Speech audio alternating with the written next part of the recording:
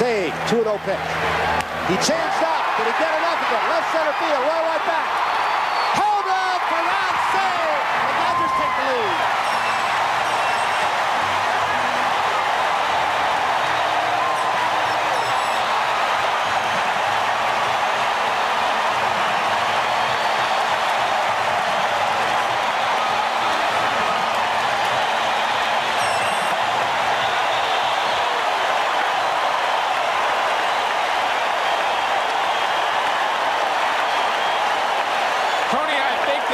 Just got away with two pitches when he was throwing to Garvey. He got pitches up in the strike zone, and here he throws a hanging slider.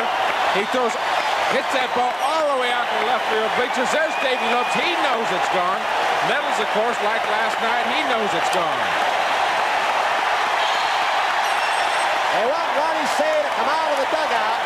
He's already done that. He took a bow.